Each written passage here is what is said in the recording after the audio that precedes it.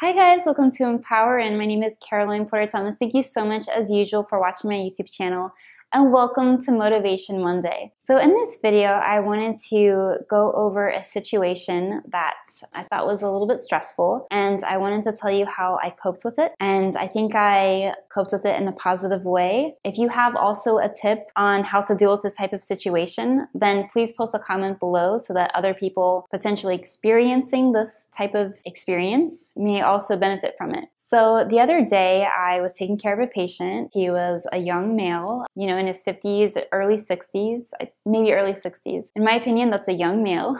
and I was talking to him, having a great day. And the next thing that I know, I get a call from the telemetry technician to go check him. His heart rhythm's changed. I go right in there with a vital sign machine, and he is blue as can be. This completely took me by surprise. I was not expecting this. Called the code blue right away, and that patient did not make it. And and I know that I'm a nurse and I, I deal with these things all the time, but it's it's very rare that it's so unexpected. He was there for chest pain, but if you've been a nurse for a while, you know that there's a lot of patients that are, are admitted for chest pain rule out MI, and everything is fine and the patients are usually discharged like a thousand percent of the time. Well, maybe like 99.9.9% of the time. So, you know, it was really difficult for me to accept this. I had to take the patient to the morgue. He didn't have family around that we could call. So it was just emotionally a difficult uh, thing for me to do because it was just so unexpected and he was such a joy to be around before. Next thing I know though, the hospital is crazy, crazy, crazy busy. They're like, you have an admission, they're already in the room. Like, like, what? The room's clean? There's somebody there? Like,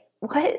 At that time, myself, I was not emotionally ready to face another patient. So here's what I did, and this is how I dealt with it. And, you know, maybe this will help you later down the road, or maybe, like I said, somebody else will have a better tip below. But I went and I looked at the patient, and the patient looked fine. It was another young male, but this male, I think, was in his like 30s or something like that. Got a quick set of vital signs, and then I excused myself. I said, you know, I've been running all morning. Is there anything that you need at this moment? If not, I'm going to take a quick break. If you need me, you can reach me on my phone or you can also push the call bell. And I honestly, I went to the bathroom and I took a few minutes for myself and I sat down and I sort of had like a moment of silence, a moment to say a prayer for my patient that had passed, give him a moment, give myself a moment, and I released it. I released the pain and the shock that, you know, I was feeling, and at that moment it helped me have peace.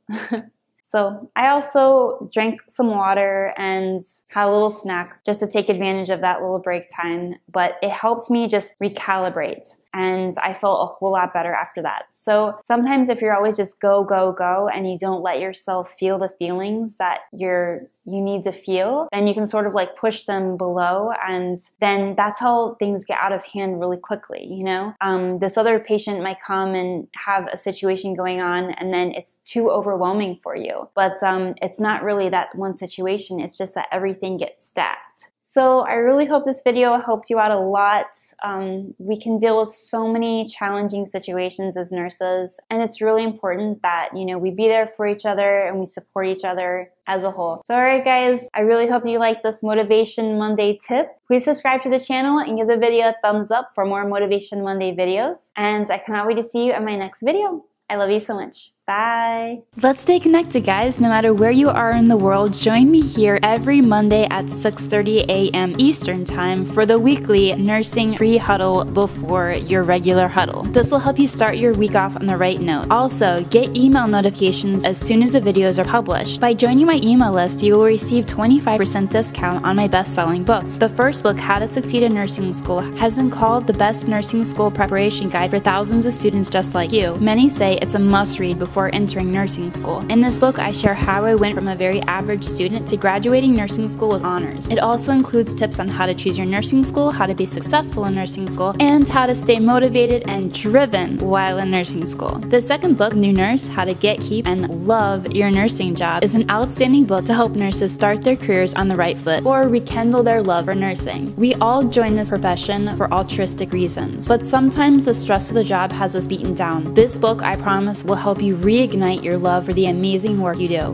And finally, by joining, you will also have access to a 40% discount for my How to Study for Anatomy and Physiology program. In this program, I share how I went from a C average student to two semesters later was on the Dean's List. I've shared these tips with thousands of other students and they have phenomenal results. Click here for information on how to join my email list. And oh yeah, make sure you subscribe to the channel also. I'll see you guys next week. Love you. Bye.